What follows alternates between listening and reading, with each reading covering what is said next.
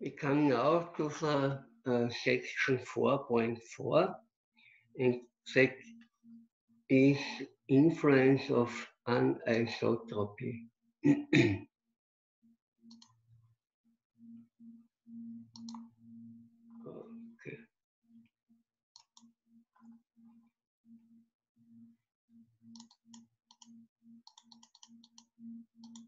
Okay, influence of Einfluss der Anisotropie. uh,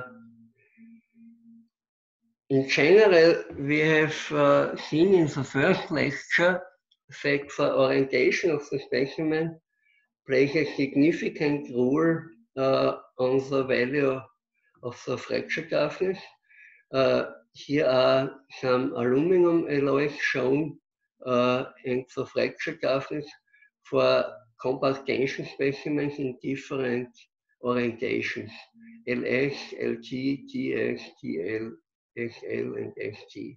And for example, uh, if you if we look at the fracture toughness can vary between uh, 18 and uh, 30 or 29 uh, megapascal square root of meter for that type of aluminum alloy.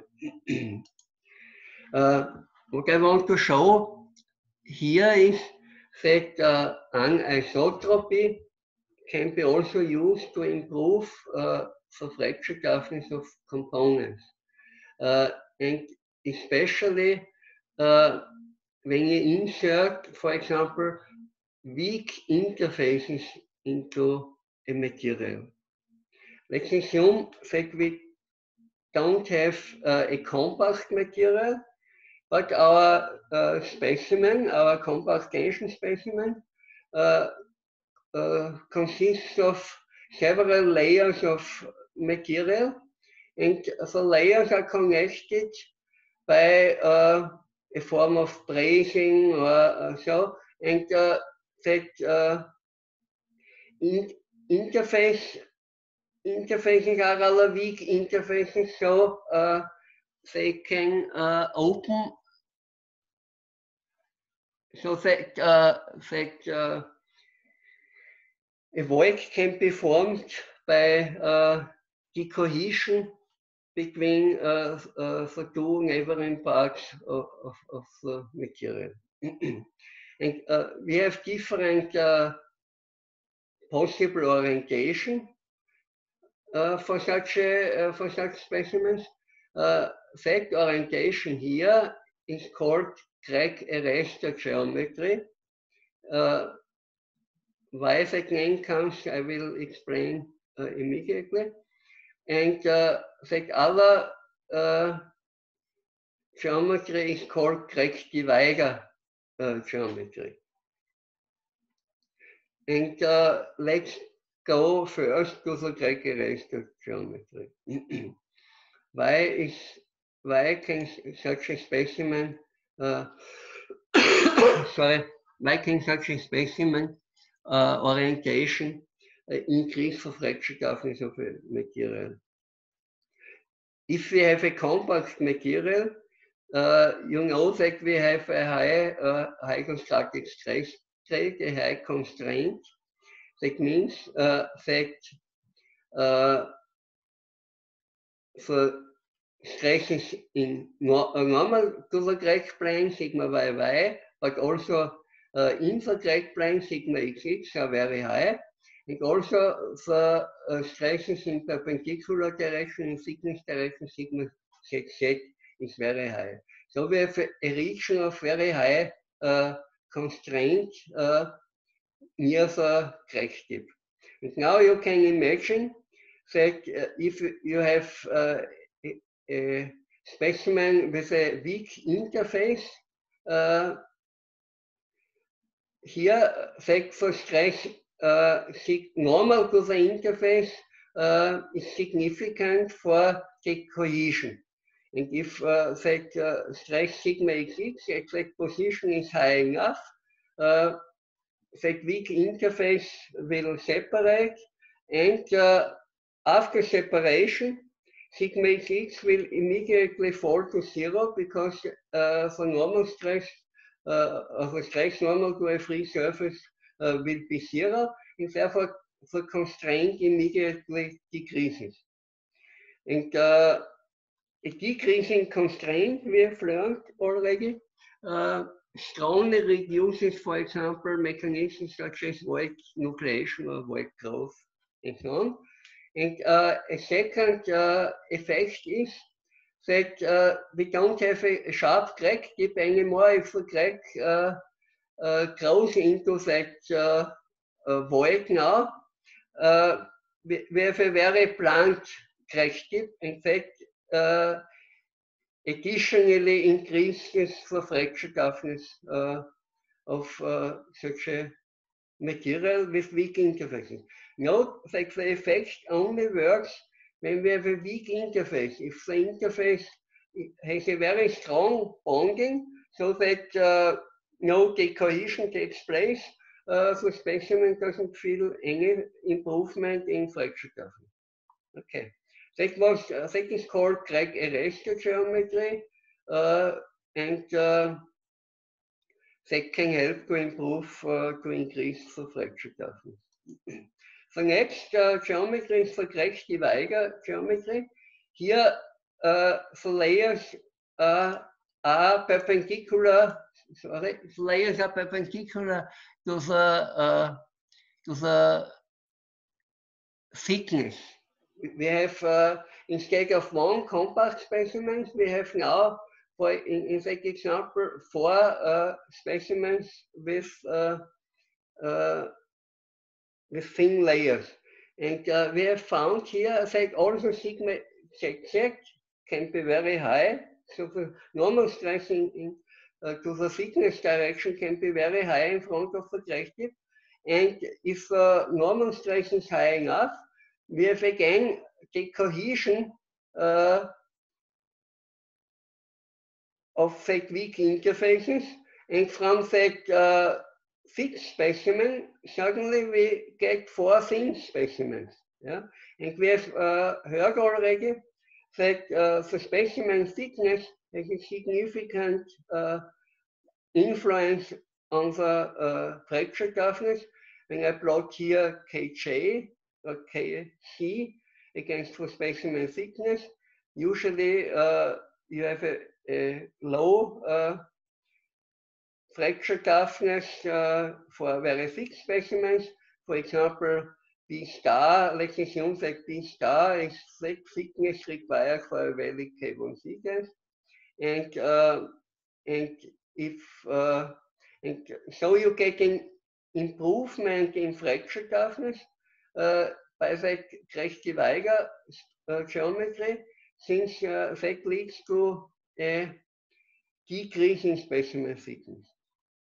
Okay, that you can uh, see here also when you plot the critical tip open displacement uh, against the, the thickness direction of the specimen.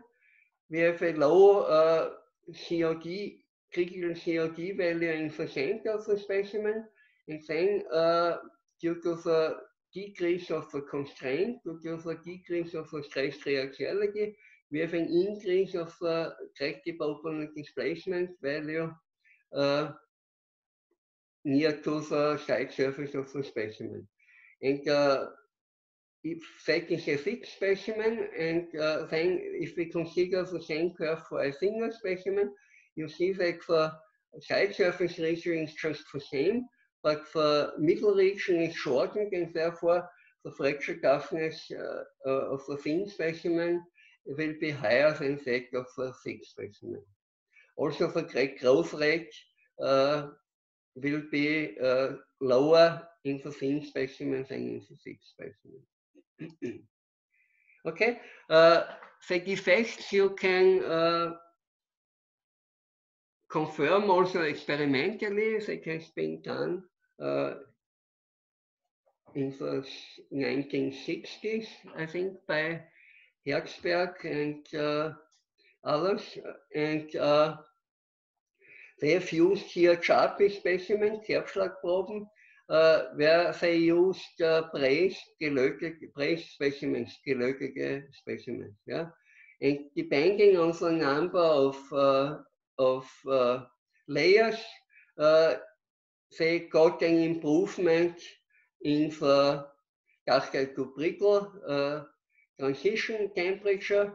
That means that the uh, transition temperature uh, for a compact uh, specimen is the transition uh, curve set, and for the specimens with six layers, the curve, uh, the transition curve is set.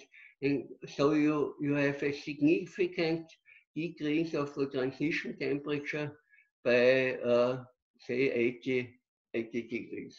It is very significant. That is the case for a crack divider geometry, is uh, the case for a crack arrestor geometry, uh, where they have only uh, one such a weak interface in, in the material. uh, what you win, what you win in the crack what you win in the crack arrestor and in the crack divider geometry, uh, unfortunately, you lose in the third possible crack orientation that is uh, called short transverse orientation that you have to avoid in any case.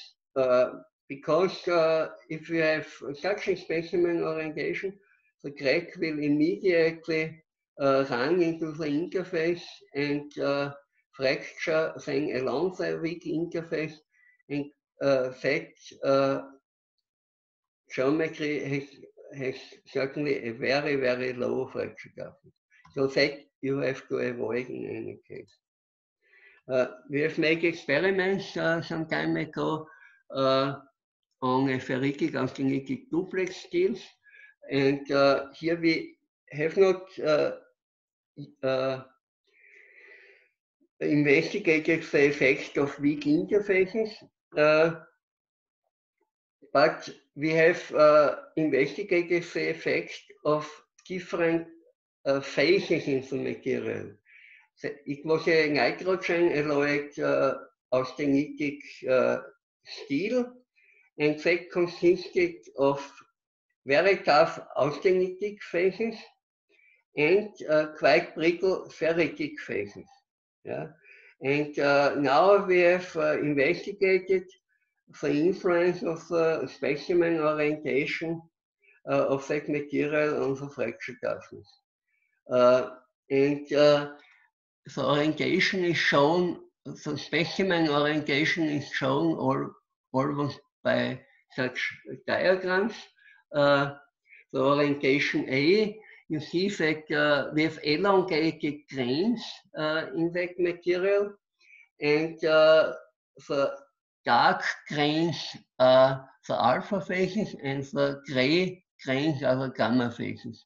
And usually the crack prefers to grow in alpha phase because the crack growth resistance in the uh, in the brittle alpha phase is much lower than in the ductile gamma phase. And so the crack wants to grow in the, alpha, uh, in the uh, alpha phases and it can do that uh, rather easily, we will see that. And so the fracture toughness uh, in that orientation a, called orientation A, is quite low. You, that is the J delta A curve, and that is the value of the crack growth resistance. Please note the value of the crack growth resistance is here in the ignition phase around 4000 kilojoule per square meter. The critical J integral is of the order of, say, 200 uh, kilojoule per square meter. uh, and uh, yeah, you see, uh, you can investigate then, make a fracture surface analysis, and you find that when the crack locally is in front or in uh, in the in fer ferrite the uh, tip opening displacement is very small. So crack growth resistance is very small, but we have a, a very high planting and a very high crack growth resistance if the crack uh, fan comes to uh, the gamma phase. okay, the highest orientation is if uh, if that uh, the grains, the elongated grains are orientated perpendicularly to the crack planes because then uh, you have to cut always that very high fracture resistant gamma grains and that costs uh, energy. And uh, you see that now the fracture initiation toughness in that orientation is of the order of 600 uh, kilojoule per square meter. And the crack resistance in terms, yeah, has, increased by a factor of three. It's now approximately 12,000 uh, kilojoule per square meter. And for orientation C shows uh, is all is uh, shows a uh, again a small value similar to the value of orientation A. Uh, the J1C value is even lower, of the order of 150 kilojoule per square meter. Uh, for crack growth resistance shows a very high peak. Uh, and that peak is of, lies in the order of 2000, but then drops significantly. So that is uh, rather orientation with a low fracture resistance. And uh, we can explain the experimental findings qualitatively uh, for crack uh, can, uh, if, if we have orientation C, for example, the crack just goes uh, in always in the alpha phase and it has to deviate only slightly for doing that. The orientation uh, B is very difficult for the crack to propagate and therefore the fracture resistance of in fact orientation is very high. Okay.